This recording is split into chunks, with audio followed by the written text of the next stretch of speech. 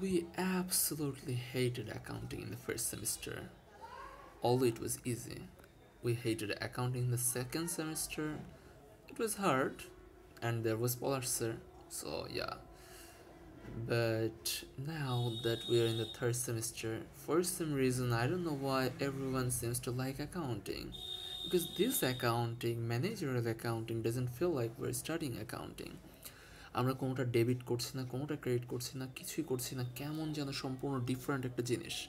আসলে এতদিন পর্যন্ত আমরা যখন ফিনান্সিয়াল অ্যাকাউন্টিং নিয়ে কাজ করতাম, আমাদের ফিনান্সিয়াল স্টেটমেন্ট বিভিন্ন ইনকাম স্টেটমেন্ট ব্যালেন্স শিট নানা জিনিসপত্র বানানো লাগতো। এগুলো আসলে এক্সটার্নাল ইউজারদের জন্য বানানো। অর্থাৎ আমার যদি কোম্পানি হয়, আমি যদি সেটার কোনো একটা ডকুমেন্ট রাখি, সে বিভিন্ন ডকুমেন্ট আসলে আমার ছড়িয়ে দিতে হবে। সেটা পড়বে কারা? যারা কিনা আমার কোম্পানিতে ইনভেস্ট করে। সো এই যে তারা যখন এটা নিচ্ছে আমার যে ডকুমেন্টগুলো তারা নিচ্ছে, তাদের ক্ষেত্রে হয় কি, তারা ডকুমেন্টগুলো চায় একদম একদম একটা স্ট্রাকচার্ড পদ্ধতিতে। এটা গভর্নমেন্ট থেকেই বলে দেওয়া আছে আর কি।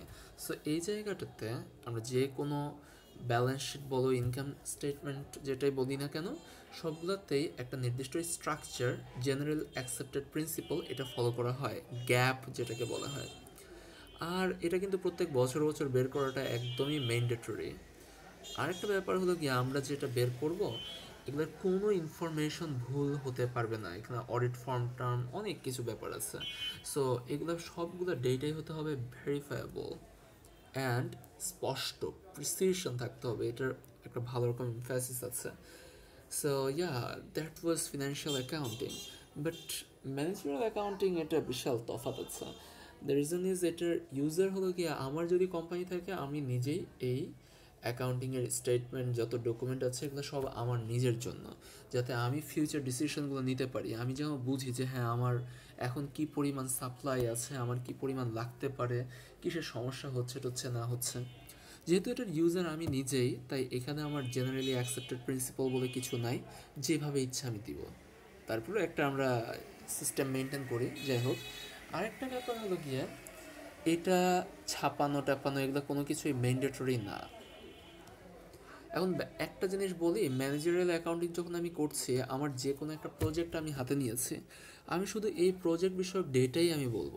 আমি সেগুলাই শুধু লিখব, অন্য কিচ্ছু লিখব না। তো সেটা হতেই পারে কোনো সমস্যা নেই। কিন্তু ফিনান্সিয়াল অ্যাকাউন্টিংয়ের ক্ষেত্রে আমার পুরো অর্গানাইজেশনটা নিয়ে কাজ করতে হয়।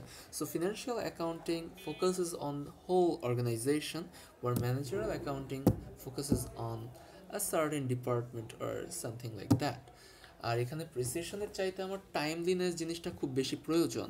যখনকার কাজ, আমি এখন একটা প্রজেক্ট নিচ্ছে, এই প্রজেক্ট বিষয়ক আমার ইনফরমেশন দরকার। এখন আমি যদি খুব বেশি সময় দিয়ে একদম পারফেক্ট ইনফরমেশন বের করতে যাই, তাহলে হয়তো আমার প্রজেক্টটাই হাতছাড়া হয়ে যাবে, দেরি হয়ে যাবে। সো আমার দরকার হলো গিয়ে মোটামুটি মাপের ইনফরমেশন হয়তো একটু উনিশ বিশ থাকতে পারে, তাতে প্রবলেম নেই বাট সেটা টাইমলি হতে হবে।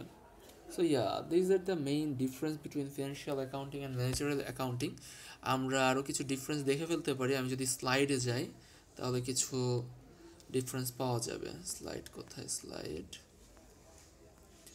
okay got the slide here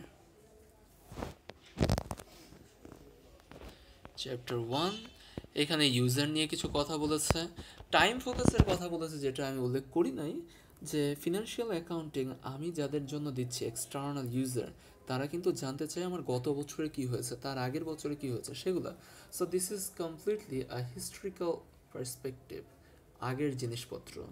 আর আমি যখন ম্যানেজারাল অ্যাকাউন্টিং নিয়ে কথা বলছি, আমি কিন্তু ফিউচারে কি করব, এখন সাপ্লাই অবস্থার সামনে কি করব, কোথায় কত খরচ করব সো এটা হলো গিয়ে ফিউচার এমফোসিস থাকছে। ভ্যারিফায়াবিলিটি ভার্সেস রেলেভেন্স এখন ভ্যারিফায়েবল হওয়া লাগে ফিনান্সিয়াল অ্যাকাউন্টিংয়ের ক্ষেত্রে। আর আমার যে ম্যানেজারিয়াল অ্যাকাউন্টিং সেটা সম্পূর্ণভাবে ভ্যারিফায়েবল প্রিসাইজ যদি নাই হয়, তারপরেও চলবে। যদি ওই ডেটাগুলো আমি যে প্রজেক্ট নিয়ে কাজ করছি, সেটার সাথে সম্পর্কিত হয় রেলেভেন্স থাকে, তাহলেই চলবে। অ্যান্ড ইয়া বাকিগুলো নিয়ে মোটামুটি কথা বলা হয়েছে, বুঝতে পারছি। So yeah this is the difference between financial accounting and managerial accounting